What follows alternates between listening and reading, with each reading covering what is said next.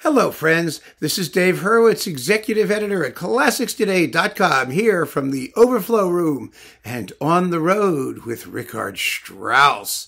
And no, I'm not going to recommend like a big long opera or a whole bunch of tone poems. No, not at all. This is a purely piece of orchestral music, just orchestral music. And it's 141 minutes or 146 minutes mm, and 41 seconds. So that's what, two hours, 26 minutes, and 41 seconds. That's a lot of Strauss. Holy mackerel. That's like a ton of Strauss, isn't it? 60, 60 is 120. Let me make sure it's, I'm not crazy. Yeah, that's plenty of time to travel most distances. It certainly got me to Connecticut and then back again, because that's about a, a 90 minute trip, and you can go back and listen to some more of it. And it's just lovely to have in your in your car stereo system. So, how do we get Der Rosenkavalier, the orchestral version? Well, what this is, is a two minute, two minute, two hour, and 26 minute and 41 second film score. Because in 1926, someone had the bright idea of turning the entirety of Der Rosenkavalier into a silent movie and that was 14 years after the premiere. So it's 1926. A very, very bad piece of timing because the next year talkies came in and and the silent movie Rosenkavalier vanished. Kerpoof, gone. It was gone. It was a complete waste of time and effort. Strauss himself seemed not to have been all that interested in the project. But then again, Strauss didn't seem to be all that interested in almost anything he did. I don't know how much of the, the apocryphal storytelling we can take from it. But he did it. That's the point. He actually did it. He worked with his assistants or whatever he did, but he did it. He took Der Rosenkavalier and he remade it as a film score. And the film was made, was shot basically around the film score, although the movie doesn't really correspond in many respects to what we heard in the opera. I mean, just think about it. Think about a typical Strauss opera. There's all kinds of plot business that he gets through as quickly as possible, and then all the action stops dead, and for the last 20 minutes, all the characters stand around doing nothing and sing. Well, that wouldn't work terribly well in a silent movie, would it?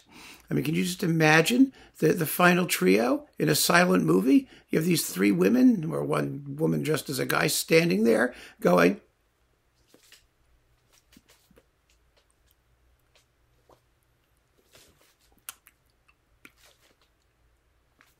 You get the picture, right? Wouldn't work. So it doesn't in the movie. In fact, in the movie, there are a whole bunch of extra characters because in a movie you can do things that you can't in the opera house. The most important of them is the field marshal, the husband of the marshal He shows up.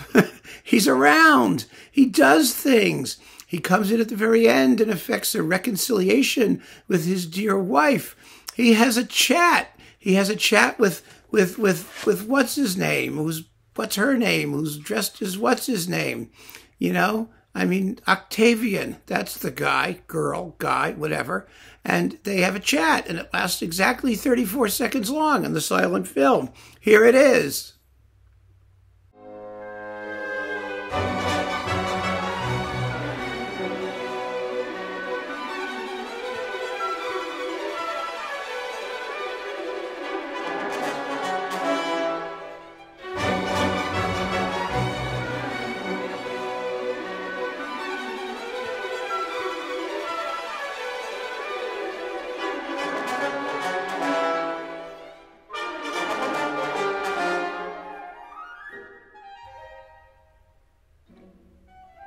And then the final trio is actually the reconciliation scene between all of the characters.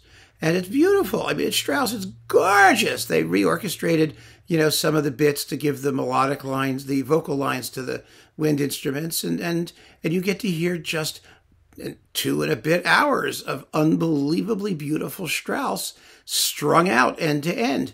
There's also there's also some other stuff that he stuck in there because he needed extra stuff for the extra characters. He wrote a new march which he put in here and he also inserted one of the dances from his Couperin dance suite, the Wirbeltanz, which is just lots of fun and very pretty. Here's a little bit of that too.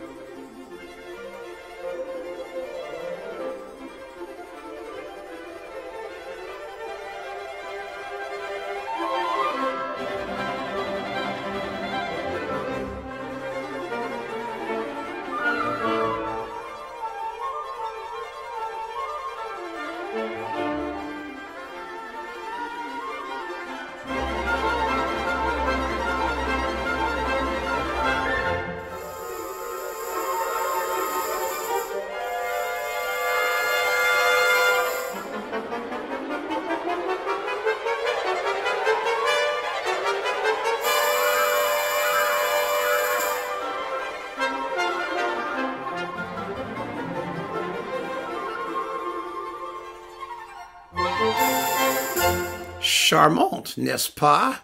So anyway, Strauss made this opera setting in 1926. He actually conducted it with full orchestra, um, not terribly well synchronized to the movie. In fact, in a few places, originally, apparently, Strauss told them to stop the film so that the music could catch up. And he did it in Vienna, and he did it in London, and a couple other places. And then the entire thing disappeared.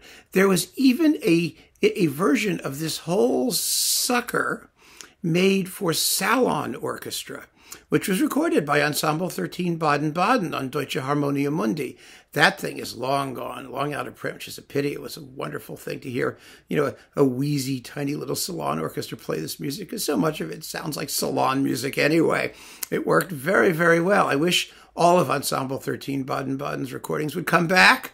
Deutsche Harmonia Mundi, whoever has, I think, I think BMG owns that stuff. Wouldn't that be interesting? But that's, I, I'm digressing. The point is, it's it's just vintage Strauss that you could play in your car, and it has a nice range of contrasts, and it's very, very, as you know, very pretty. Some would say it's saccharine. I mean, it's very sweet, um, given the subject matter. And you hear all of the familiar tunes that you're used to from Rosenkavalier, plus a few extra bonbons and goodies. So what's not to love? It's fabulous. This performance is on Capriccio, which is why I can play you bits of it. Um, it features Marek Janowski. Um, and let's see, what's the orchestra here? I think they tell you what it is. Yes, the Deutsche Symphony Orchestra Berlin. It's still kicking around. I've seen it recently on Amazon, although you may have a hard time recognizing it. It comes in a slipcase with this sort of silver thing that reflects badly on my stage lighting here. There's there's like silver, and this is what it looks like outside of its slipcase. Two full discs, and you can download it which is what I did. I just stuck it on my iPod and I have it. I have it whenever I'm driving. It works fabulously well. It is also, I might add, if you remember, we did our talk on opera without words. Wow, holy mama. This is the opera without words mother lode. Where else are you going to find the complete opera, soup to nuts, without words? I mean, it's yeah, okay, maybe there's like, you know, an hour or 45 minutes of music cut from it for the purposes of doing the film. But it's incredible. Now, there have been supposedly some performances of this restored, you know, with the film, but the entire film doesn't exist anymore. Supposedly, I think the last 15 minutes or so are missing. I've never seen it, so I can't tell you. It's probably on YouTube somewhere. I mean, most of it, or however much there is of it. The director was the same guy who did that famous silent film, The Cabinet of Dr. Caligari um, so it's it's a major thing in cinema history. Although I have to say, um, I have enough trouble dealing with my music history, so I don't do cinema history, which is you know it's a fascinating topic, but it, it's not my fach. So I'm not sure about the whole filmistic history of it. The interesting thing about it, though, apparently, is that Hofmannsthal drew up a whole scenario for it, which the character, which the director completely ignored, and they substituted their own because neither Strauss nor Hofmannsthal had really any clue about the potentialities or the the the exigencies of the film medium, and so they weren't really geared for it. But what we have is this this wonderful, wonderful two hour, 26 minute, and 41 second manifesto, this memento of Strauss's brief encounter with the wonderful world of the silent cinema. And boy, does it make great road music. I can't think of a, a, a better, if you like Strauss, if you like your late romantic stuff and driving, if you put those two together, this is just fabulous. So give it a shot and keep on listening, folks. Thank you for joining me. Take care.